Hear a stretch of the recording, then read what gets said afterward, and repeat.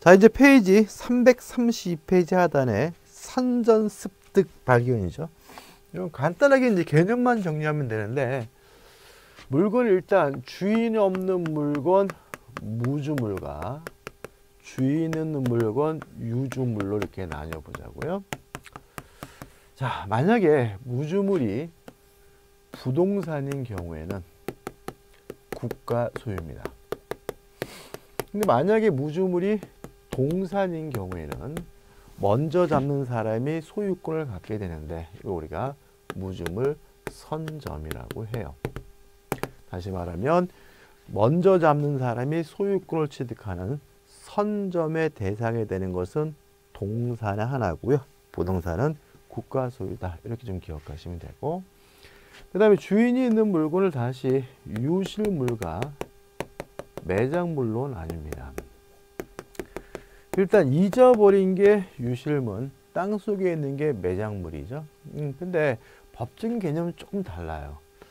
발견이 용이한 상태에 놓여져 있는 유주물을 유실물이라고 하고요. 발견이 곤란한 상태에 놓여 있는 유주물을 우리가 매장물이라고 합니다. 예를 들어 제가 반지를 세면대 위에 놓고 세수하고 나서 깜빡했어요. 근데 그 반지가 세면대 위에 놓여 있는 상태라면 발견이 용이한 상태에 있는 유주물이니까 유실물이고요. 근데 만약에 그 반지가 하수도 들어가가지고 하수건, 하수도 관 안에 들어가 있다면 발견이 곤란한 상태에 있는 유주물이니까 매장물이 되는 거죠. 따라서 우리가 매장물이라는 것은 땅 속에 있든 물 속에 있든 건물 속에 있든 발견이 곤란한 상태에 있는 유주물을 우리가 매장물이라고 하고요. 일단 둘 다 유주물이기 때문에 주인을 찾아줘야 됩니다. 유실물의 경우에는 6개월간 공고라고요. 그래도 소유자가 나타나지 않으면 습득자가 소유권을 갖고요. 매장물의 경우에는 1년간 공고를 하고 그래도 소유자가 나타나지 않으면 소유권을 취득하게 되는 거죠. 아, 유실물은 1년이 아니라 6개월이라는 거좀 기억해 두시고 그래도 최근에 개정된 부분이에요. 자, 그것 좀 수험적으로 좀 생각해 볼 것은 뭐냐면 무중을 선점을 하기 위해서는 점유를 취득해야 하고 그 점유는 자주 점유여야 합니다. 유실물을 습득하기 위해서는 점유를 취득하면 되고요. 어, 자주 점유일 필요는 없어요. 아이고, 점유를 유실물을 습득하기 위해서는 점유를 취득해야 하지만 무슨 점일 필요는 없죠. 자주 점일 필요는 없는 거죠. 예를 들어서 제가 전철역에서 지갑을 주었어요. 그러면 저는 점유를 취득한 거죠. 근데 저는 어떤 마음이냐면 요거를 주인을 찾아줄 마음이에요. 그럼 저는 소유의 의사가 없으니까 자주 점유는 아닌 거죠. 그래도 6개월간 공고를 하고 소유자가 나타나지 않으면 제가 소유권을 가질 수는 있거든요. 그래서 자주 점유할 필요는 없는 거죠. 이에 반해서 매장물은 말 그대로 발견이에요. 발견이기 때문에 점유를 취득하지 않아도 된다는 것까지 기억해 두시기 바라고 이 부분까지 정리하시면 충분합니다. 자, 그 다음에 이제 어디로 갈 거냐면은, 어, 334페이지에 첨부로 갑니다. 첨부. 첨부와 관련돼가 우리가 정리해야 될 것은 우측에 있는 부합입니다. 자, 부합이라는 말은 뭐냐면 물건끼리 결합이 됐다는 거죠. 달라붙었다는 얘기예요. 결합이 돼가지고 분리할 수 없거나 또는 분리하는데 과다한 비용이 든다면 달라붙은 물건의 소유자를 결정해야 되는데 이거 우리가 부합이라고 하거든요. 이 개념을 좀 잘 정리하셔야 되는데 첫 번째로 생각해 볼 것은 부동산과 동산이죠. 부동산과 동산이 달라붙어서 분리할 수 없다면 그때는 부동산 소유자가 달라붙은 물건의 소유권을 취득합니다. 아, 조심할 것은 어, 가치는 고려하지 않아요. 동산이 비싸더라도 부동산 소유자가 달라붙은 동산의 소유권을 취득하게 되고요. 따라서 동산 소유자는 소유권을 상실하게 되는데 때는 부동산 소유자에게 보상은 청구할 수 있겠죠. 아무튼 부동산과 동산이 달라붙어서 분리할 수 없다면 부동산 소유자가 소유권을 갖습니다. 두 번째 동산과 동산이죠. 음, 동산과 동산이 달라붙어서 떨어지지 않아요. 그럼 원칙적으로 두 물건 중에서 주된 물건의 소유자가 달라붙은 물건의 소유권을 갖습니다. 다만 어떤 것이 주된 곳이고 종된 곳인지 주종을 구별할 수가 없다면 이때는 가액의 비율에 따라서 달라붙은 물건을 공유하게 되는 거죠. 여기서 좀 조심할 것은 뭐냐면 원칙과 예외입니다. 그러니까 원칙적으로 주된 물건의 소유자가 소유권을 갖는 거예요. 주종을 구별할 수 없는 경우에 예외적으로 부합 당시에 가액의 비율로 공유하는 거거든요. 그래서 만약에 동산끼리 부합한 경우에는 밑도 끝도 없이 가액의 비율에 따라서 공유한다는 지면은 X가 되고요. 원칙은 주된 물건의 소유자가 주종을 구별할 수 없는 경우에만 가액의 비율로 공유하게 된다는 거 주의하시기 바랍니다. 여기까지 민법 규정이에요. 자, 세 번째, 아, 부동산끼리 달라붙었을 때는 어떻게 할 것인가에 대해서 우리 민법에 아무런 규정이 없어요. 아, 부동산끼리 달라붙는 경우에 일반적으로 어, 1층이나 2층으로 중축되는 경우를 말하겠죠. 이 문제에 대해서 우리 판례는 어떻게 해결하고 있냐면 원칙적으로 부합된다는 입장입니다.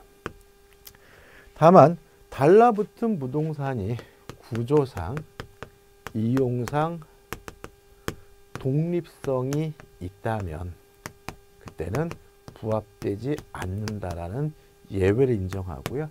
수험적으로 이 부분이 가장 중요한 거죠.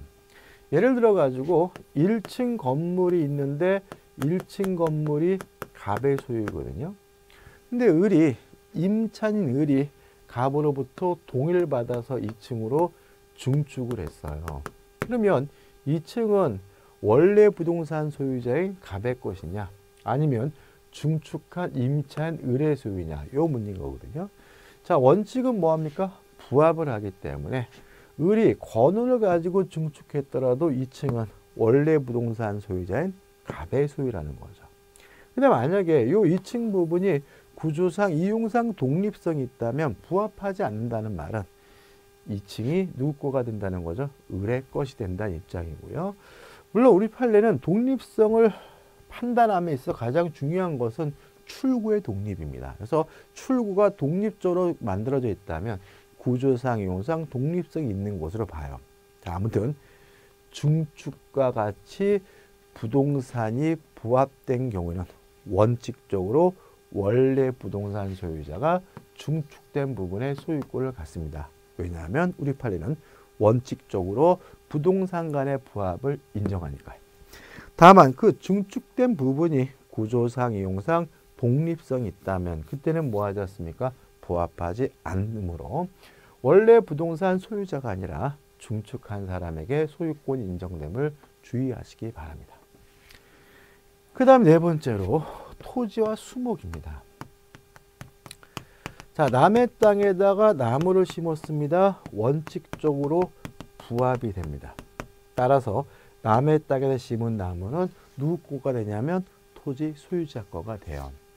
다만 권원이 존재하는 경우에는 다시 말하면 남의 땅 위에 나무를 심을 수 있는 권원이 존재하는 경우는 부합되지 않는다는 것이 우리 판례의 태도예요. 아이고 적어놓으니까 좀 너무 협소하네, 그죠? 자, 이런 문제입니다. 음, 갑이 토지를 소유하고 있는데 을이 갑의 땅에다가 나무를 심었어. 그러면 원칙에 따라서 부합을 하기 때문에 요 나무는 나무를 심은 을의 소유가 아니라 토지 소유자인 갑의 소유가 된다는 거죠. 근데 만약에 을에게 지상권이다, 임차권이다 같은 나무를 심을 수 있는 권원이 존재한다면 요 나무는 부합하지 않으므로 을의 소유가 된다는 것이 우리 판례 입장인 거죠. 근데 여기서 좀 생각해 볼 게 있어요.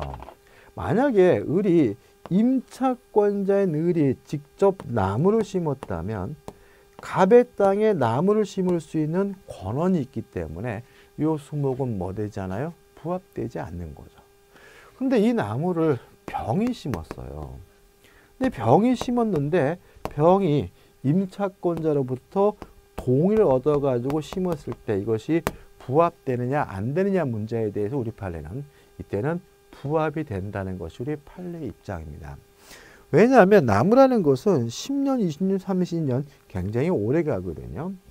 음, 따라서 임차권자에게는 타인에게 나무를 심을 수 있도록 승낙할 권한이 없다고 봐요. 그래서 임차권자가 스스로 심는 것은 권한이 있는 것이기 때문에 부합되지 않지만 임차인으로부터 승낙, 동의를 얻어 심은 것은 무단으로 나무를 심은 것과 마찬가지로 부합이 되기 때문에 토지 소유자의 소유가 된다는 것이 우리 판례 입장임을 주의하시기 바랍니다.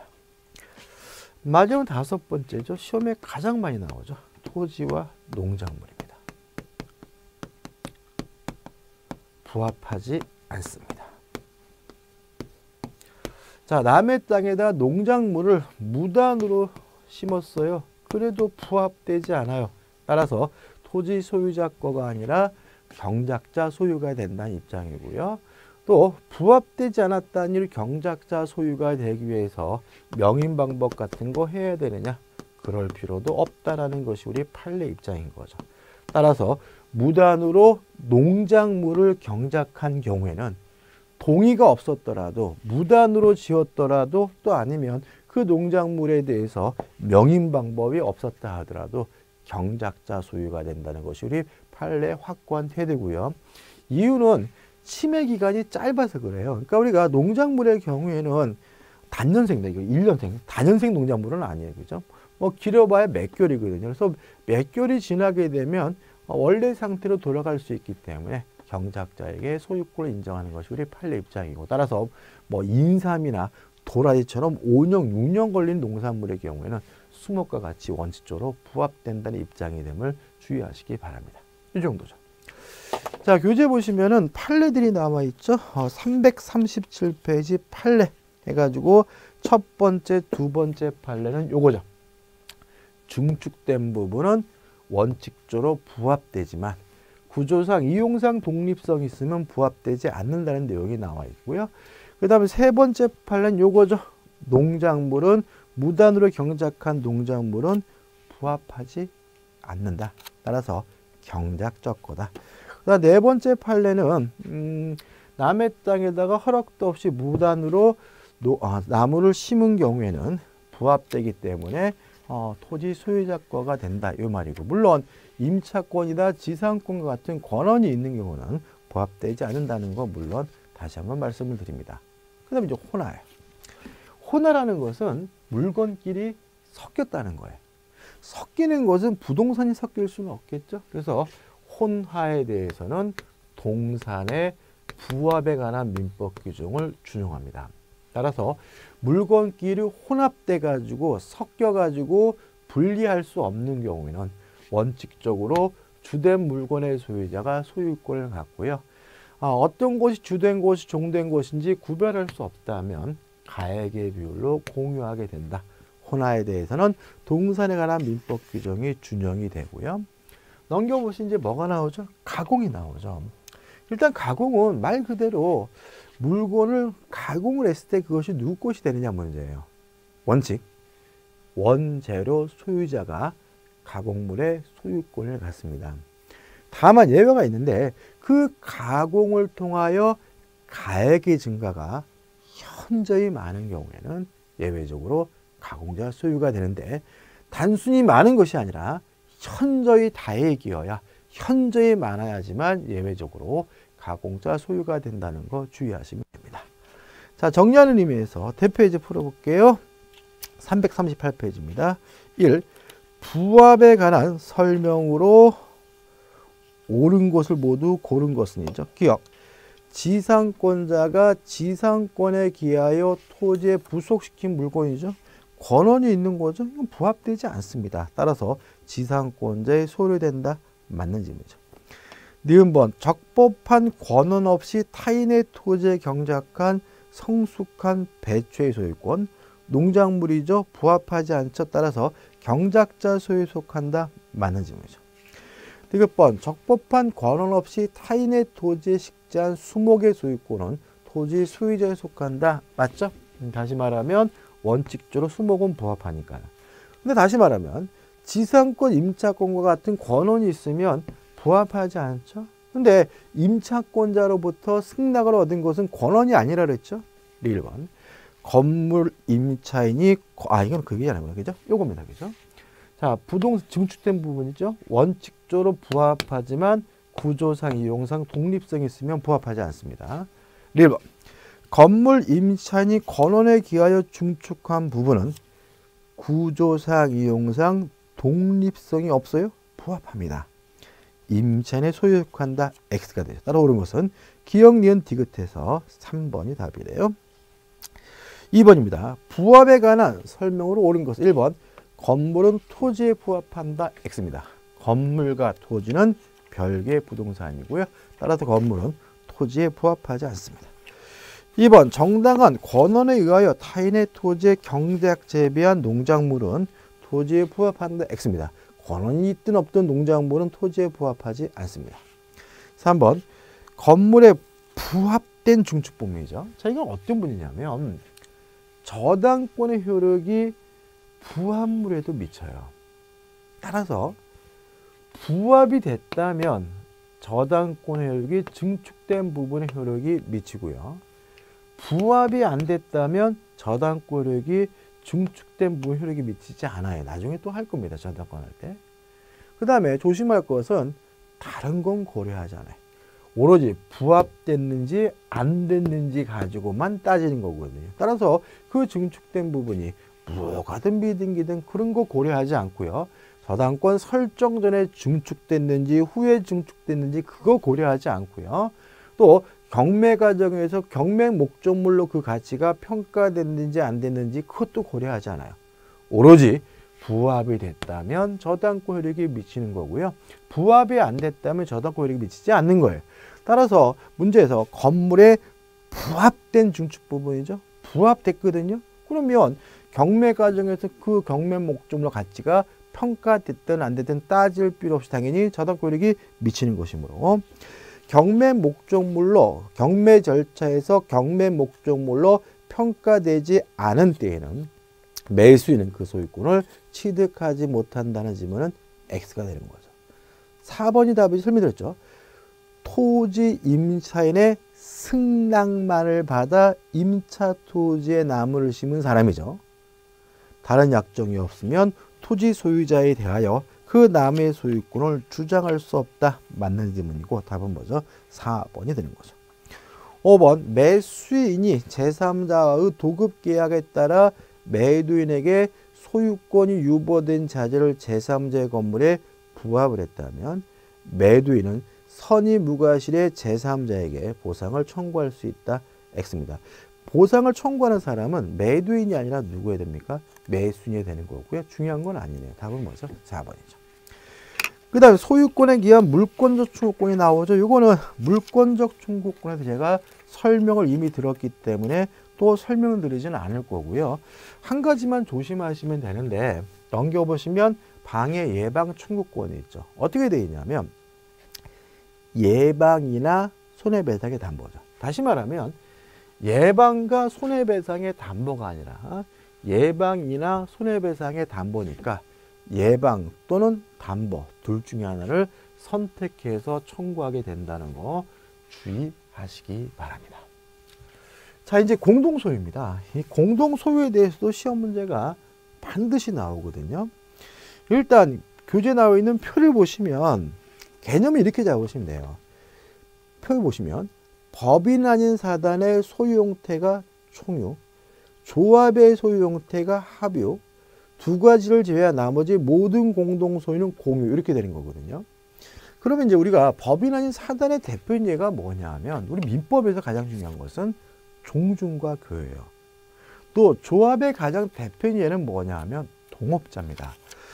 그러니까 조합이라는 것은 농업 협동조합을 말하는 것이 아니라 우리 민법에서 말하는 조합은 공동의 목적만 있을 뿐 아무런 조직도 체계도 없는 사람의 모임을 조합이라고 하고요. 조합의 가장 대표적인 것은 동업자거든요. 그럼 우리는 개념을 이렇게 하시면 돼요. 교회나 종중과 같은 법인 아닌 사단의 소유 형태가 공유고요. 아, 총유고. 그다음에 동업자 같은 조합의 소유 형태가 합이다. 그다음에 두 가지를 제외한 나머지 모든 공동 소유는 공유다. 이렇게 이해하시면 되고요. 특징을 보는데 공유 물론 지분이 있고요. 합유 지분이 있습니다. 근데 총유는 지분이 없어요. 그래서 예를 들어서 교회 다니면 교회 구성원으로서 법인 아닌 사단의 구성원으로서 권리가 있는 것이고 관두면 땡기는 거예요. 교회를 탈퇴하면서 내가 낸 돈 내놔라라고 요구할 수가 없습니다. 왜냐하면 총유는 지분이 없으니까요. 자, 공유는 지분을 처분할 때 자유롭게 처분할 수 있고요. 공유 지분은 당연히 상속이 되고 공유물을 분할하는 것도 자유롭습니다. 근데 합유는 합유 지분을 처분한다는 것은 결국은 동업자가 다른 사람으로 바뀐다는 얘기니까 합유 지분을 처분하기 위해서 전원의 동의가 필요하고요. 따라서 같은 논리로 합유 지분 자체는 상속되지 않는다는 것이 우리 판례 입장이고 또 합의물은 조합체가 해산되지 않는 한 분할할 수 없다는 점에서 차이점이 있는 거죠. 그 다음에 목적물이죠. 공유든 합의든 목적물에 관한 보존행위는 단독을 합니다. 또 이용 계량과 같은 관리 행위는 지분의 과반수로서 하고요. 처분 변경은 전원의 동의가 있어야 돼요. 이에 반해서 총유물에 관한 모든 사항은 사원청의 결의를 통해서 해야 되고요. 특히 총유물에 관한 보존행위도 사원청의 결의를 통해서 한다는 거 꼭 기억해 두시고 340페이지 하단에 있는 이 표현은 반드시 암기해 두셔야 합니다. 자, 341페이지입니다. 자, 일단 의인데 공유란 공동으로 소유권을 가지고 있는 거죠. 다시 말하면 여러 사람이 공동으로 소유권을 가지고 있으니 원칙이 뭐죠? 공유인 것이죠. 그래서 우리 교재 우측에 법정보시 262조입니다. 물건이 지분에 의하여 수인의 소유로 된 때에는 공유를 한다. 의, 한 개의 소유권이 불량적으로 분할되어 지분에 의하여 수인의 소유로 되는 것을 공유를 한다. 이게 무슨 말이냐면, 자, 우리 판례에 따른다면, 공유란 물건을 나눠 가지고 있는 것이 아니라 소유권을 나눠 가지고 있는 거죠. 근데 공유라는 것은 여러 사람이 소유권을 나눠 가지고 있는 거예요. 그래서 공유 지분은 소유권에 대해서는 일부에 된 거죠. 그렇지만 물건을 나눠 가지고 있는 것이 아니기 때문에 공유 지분은 목적물, 물건에 대해서는 전부에 대한 권리인 거예요. 그래서 내가 지분권이 40%야 라는 말은 소유권에 대해서 40%를 가지고 있다는 거예요. 40%든 20%든 목적물에 대해서는 어디에 대한 권리예요? 전부에 대한 권리라는 거죠. 이게 우리 판례의 이해입니다. 따라서 따라서 공유 지분을 근거로 해서 부당이득 반환을 청구하거나 손해배상을 청구할 때는 전부에 대해서 청구하는 것이 아니라 지분 범위 내에서 청구하게 되는 거죠. 왜요? 공유지분은 소유권에 대해서는 일부니까요. 이에 반해서 공유지분권을 근거로 해서 목적물에 대해서 반환을 청구하거나 또는 방해 배제를 청구하거나 아니면 그 등기가 무효이기 때문에 말소 등기를 청구하는 것은 목적물 전부에 대해서 반환을 청구하고 전부에 대해서 방해 배제를 청구하고 전부에 대해서 말소 등기를 청구하는 겁니다. 왜냐하면 공유지분은 목적물에 대해서는 전부에 대한 권리니까. 이게 좀 은근히 까다로울 수가 있는 거죠. 자, 박스미트 2번 공유의 성립입니다. 가 계약과 같은 법률 행위에 의하여 성립되는 경우가 있고요. 나번 법률의 규정에 의해 성립되는 경우가 있는데 읽어보실 필요도 없는 거고요. 중요한 건 아니고 넘겨보시면 공유의 지분에서 가 공유의 지분의 지분의 비율을 일단 균등한 것으로 추정하고요. 뭐 불, 불균등할 수가 있는 거죠. 자, 지분의 내용 1. 공유 지분이란 소유권의 일부다. 다시 말하면 공이란 물건을 나눠 가지고 있는 것이 아니라 소유권을 나눠 가지고 있는 거다. 2번 지분의 처분 주장 공유물은 공유 지분은 자유롭게 처분할 수가 있고요. 자신의 아, 공유 지분을 처분하고자 할 때 다른 공유자로부터 동의나 승낙을 받을 필요는 없고요. 3. 공유물의 사용 수익. 자, 공유는 공유 지분권자는 공유물 어디를 사용 수익하냐면 전부를 지분 범위 내에 사용하는 거죠. 다시 말하면 공유자는 공유물 어디를요? 공유물 전부를 사용하는 겁니다. 어느 범위 내에서? 지분 범위 내에서. 왜요? 공유는 물건을 나눠 가지고 있는 것이 아니라 소유권을 나눠 가지고 있는 거니까요. 답은 공유 지분의 탄력성입니다. 자, 이런 문제입니다. 자, 건물이 있는데 이 건물이 갑과 을과 병 세 사람의 공유고요. 지분이 각 3분의 1입니다. 근데 예를 들어서 을이 사망을 했어요. 그러면 을이 가지고 있던 공유 지분은 당연히 상속이 되겠죠. 그죠? 근데 문제는 사망을 했는데 상속인이 없어요. 그러면 을이 가지고 있던 공유 지분이 무주의 부동산이니까 국가 소유가 되느냐? 그건 아니고요. 이때는 을이 가지고 있던 공유 지분이 갑과 병으로 흡수가 돼요. 다른 공유자에게 지분의 비율로 흡수가 됩니다. 이 우리가 공유 지분의 탄력성이라고 해요. 아니면 을이 자신의 공유 지분을 포기했어요.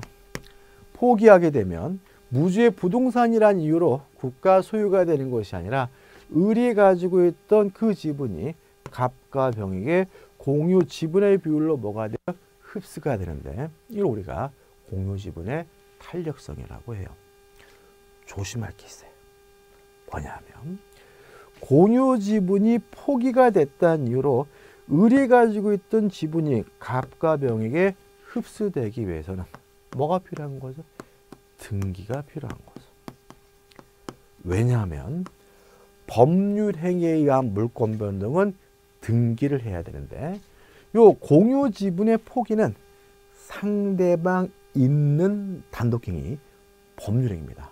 따라서 포기됐다는 이유로 갑과 병에게 지분이 흡수되는 것은 법률 행위에 의한 물권 변동이기 때문에 등기를 해야 이로써 갑과 병에게 흡수됨을 주의하시기 바랍니다.